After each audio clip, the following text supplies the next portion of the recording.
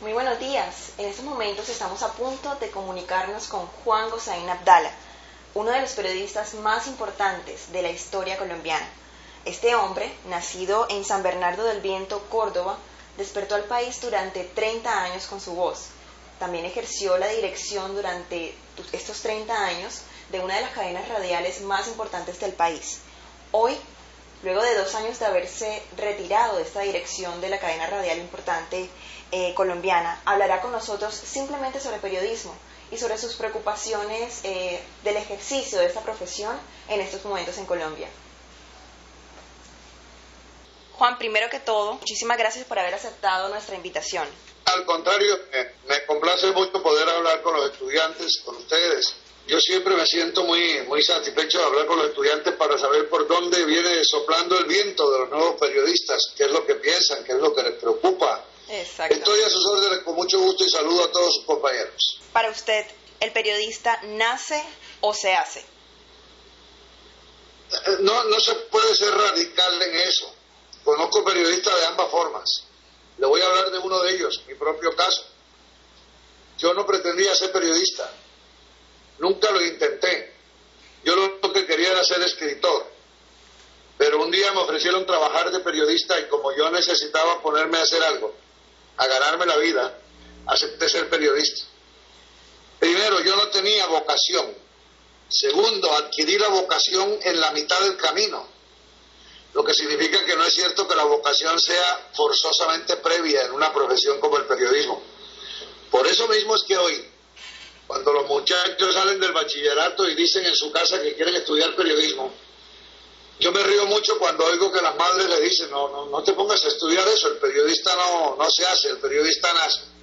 A veces nace, a veces se hace.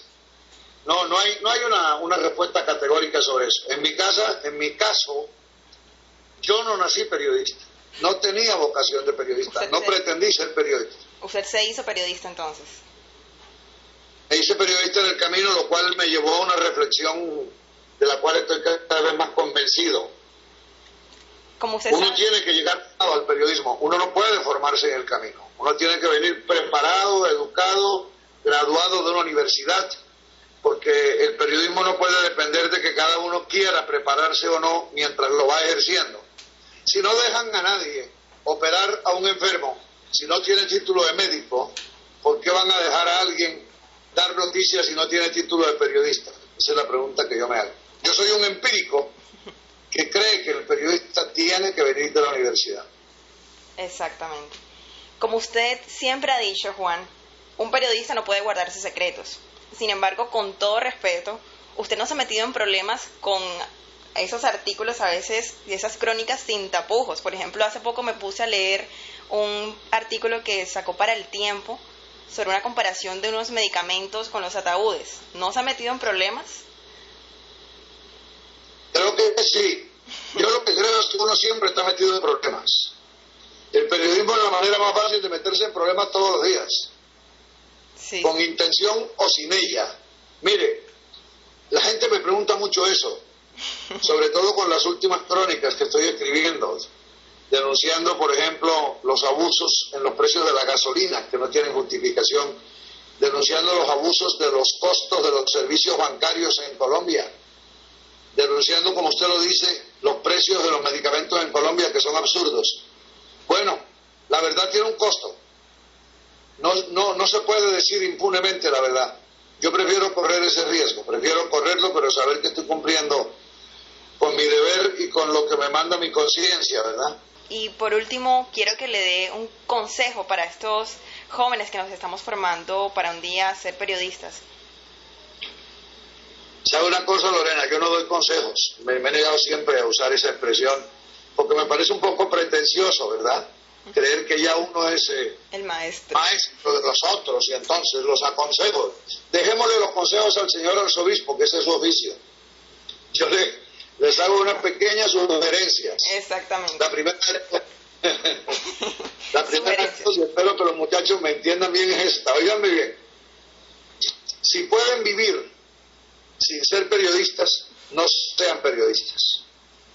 Lo que les quiero decir es que este oficio es tan absorbente, este oficio es tan enloquecedor, es tan frenético, y es tan comprometedor que si sienten que pueden hacer algo distinto en la vida, háganlo. Lo que pasa es que un periodista no puede ser nada más. Es decir, si sienten que no pueden vivir sin el periodismo, son periodistas. Si sienten que pueden hacer alguna otra cosa que no sea periodismo, entonces háganla y no se metan en este problema, muchachos.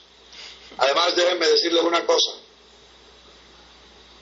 La lección más bella que me enseñó mi experiencia como director de RCN durante casi 30 años fue esta. Cuando el muchacho estudiante como ustedes llega de la universidad al medio, al medio de comunicación a trabajar, ¿saben lo que traen en la cabeza? Más que en la cabeza, en el corazón. Se les nota mucho.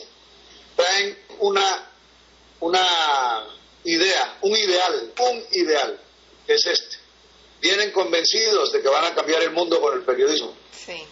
Yo me doy cuenta enseguida. Desde que hablo con el, el primer minuto que hablo con un joven me doy cuenta y nunca lo he sacado de su error. No van a cambiar el mundo con el periodismo. Eso no es lo importante, que lo hagan o no lo hagan. ¿Saben qué es lo importante? Que lo piensen, que lo crean. Lo importante es que ustedes sientan que van a cambiar. Eso es lo que mantiene vivo a un periodista. La idea de que con su trabajo puede lograr un mundo mejor cuando tengan 90 años o 95 como yo, sigan pensando que con el periodismo se puede cambiar el mundo. Sean idealistas, tengan objetivos en la vida, pero sobre todo no abandonen nunca esa ilusión. Yo puedo cambiar el mundo por el periodismo. Lo más bello del mundo es morirse pensando en eso, morirse de viejo pensando en eso. Así es. Muchísimas gracias, Juan. Ha sido para nosotros todo un honor haber conversado con usted y sé que será de muchísima utilidad llevar pues esta entrevista, este pequeño diálogo a todos nuestros compañeros de periodismo. Muchísimas gracias. Al, contrario, Lorena, gracias a usted, a sus compañeros y estoy siempre a sus órdenes y a las órdenes de todos los jóvenes que quieren conversar conmigo, por si algo yo puedo servir, que no creo que sea de mucho. claro que sí, servirá. Muchísimas gracias. Que tenga buena tarde. Hasta Lo mismo, buenas tardes, saludos a todos. Listo, perfecto. Hasta luego. Hasta luego. Conversar con este maestro en periodismo, aun cuando él no lo quiera aceptar, sé que resultará una experiencia verdaderamente enriquecedora para nosotros estudiantes en formación de periodismo. Un periodista no nace, un periodista se hace en el camino. Dentro de otras de las enseñanzas que nos ha dejado pues esta conversación con Juan Gosaín Abdala es que un periodista no puede guardarse secretos, los invitamos a todos ustedes a que pues pongan en práctica y compartamos todas estas experiencias y por supuesto consejos y estrategias que nos ha brindado en el día de hoy Juan Gosain. Muchísimas gracias. Hasta pronto.